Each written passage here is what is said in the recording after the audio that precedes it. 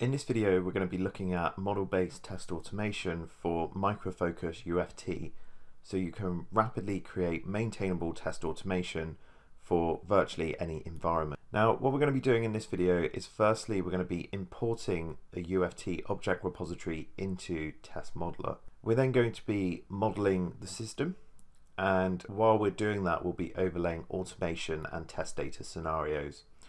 We could go off and look up external data which you can see in one of our existing videos linked below. Once we've modeled the system and overlaid our automation we can export a coverage focused set of automation scripts back into UFT. Finally, we'll be running our coverage focused automation scripts against the system under test, which in this case is going to be a web-based platform, but it could just as easily be a mobile based app or a FitCard application or some kind of ERP like SAP. So let's jump in and take a look at the demo. The system we're going to be testing in this demo is just a little e-commerce system where we have various sign-in screens and also we can go through and make various different orders through our system. Now what we've done in UFT is we've built out a little object repository here which can be constructed from recordings of activity or you can go into the UFT object spy and start picking out elements on a page to include. Once you've built up this repository, what you essentially get is a repository of objects, or the pages in this case, because we're dealing with a web UI. And within each page, you have the different objects that were interacted with and scanned, along with the associated identifiers to extract this object on the page. So it's a nice way for us to build up an object repository of all the actions available that we want to automate. Inside Test Modeller, we have a full synchronization engine to bring in and synchronize with the UFT object repository. So we've done that synchronization process here, and you'll see all of those objects available. And we can go into some of these, so let's take a look at the checkout.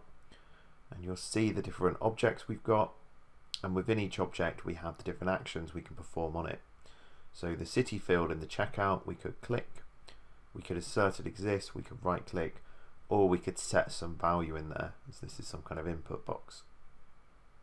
So at this point, we've got our whole object repository imported into Test Modeller. Now what we want to do is use this object repository and consume it to create some very rich sets of test automation. So what we're going to do here is we're just going to start modeling a checkout process. Now the first thing we need to do when we start any model is add a start block. And then what we're going to do is we'll come into the modules panel on the right hand side and we'll open up to the objects we just scanned. We're going to be focusing exclusively on the checkout process. Now the first thing we're going to do here is we're going to go through, we're going to enter a city. If we enter a positive city, what we're going to do is enter a postcode we enter a positive postcode, what we're then going to do is enter in the street address. So we'll select the street here, put that in. Now what you'll see here is as I was going through adding these objects in, it was splitting them out for me into the different equivalence classes for each value, my cities, my postcodes, etc. Now what's actually happened here is we have a little data dictionary in the background of common data components, which is fully extendable. And what we'll see here is that it's not managed to find a data component for a street. Now what we could do is come in here and create a new rule and specify the exact equivalence classes for that. Now I know that we do have a rule here called address, so I'm just going to select that, bring it in, and we'll see that's been componentized for us again. Now the final one we're going to do here is set the telephone. And then finally what we will do is we will use a fixed shipping address. So we'll just click on the fixed one here. Finally, if all is successful, we're going to click the next button to take us to the next page. Now, if we go through this top half of the process, we're going to be successful. If we enter negative data in here, we're going to end up in some kind of error state. So we're just going to go back here and connect all of these up. As so, we'll do a quick little relayout. And what you'll see here is that we've got a full model which has test data overlaid here And you'll see in some cases it has static data defined. So here we're dealing with a city variable. But also it's actually had the intelligence here to map it to one of our many data expressions for generating synthetic data. So you'll see in here the various functions for generating financials, names, phone numbers, dates, etc. etc. Here it knows we're interacting with a city field, so it's generated a random value here for a city. You'll also see is that it's overlaid the automation actions as we've come through here with our actions which exist in our object repository in UFT. Now all I have to do is come in here, hit the generate button, and what that will do for me is generate a set of coverage focused test cases across my application.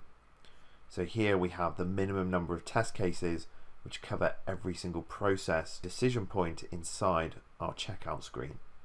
Now in the world of the enterprise and especially within ERP applications you'll find that there are processes that exist that have many steps involved like some kind of procurement process. Now the way we handle that in Test Modeller is you can come in and you will basically split that down into very small components. So you may build a model for every single step within that process.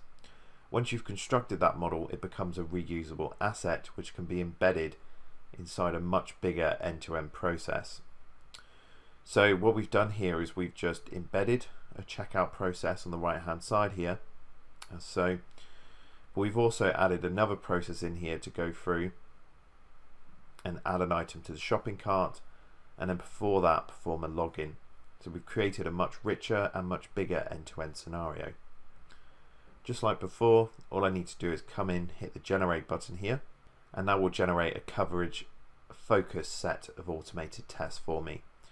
And we'll see as I'm flicking through here the different deviations and the different journeys, these are testing through our order process.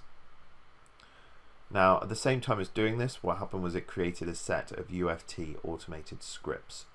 And what we'll see now is we're back inside um, UFT, and on the left hand side we have the scripts that were generated as part of that process. So we'll see all the tests here. We're just inside the positive scenario here, which was placing an order. And what we can now do is we can go through and we can execute these tests. So we'll just come in, hit the run button here just to see this one run through. So what we'll see here is we're going through the login process. We're then making an order. We're then going through the checkout process here. And then finally, it's placed the order for us. And we'll see here our test has been successful.